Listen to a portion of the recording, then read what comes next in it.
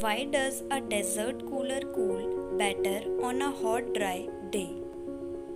A desert cooler works on the principle of evaporation. As we know, rate of evaporation increases as the temperature increases and humidity that is amount of water vapor present in the air decreases.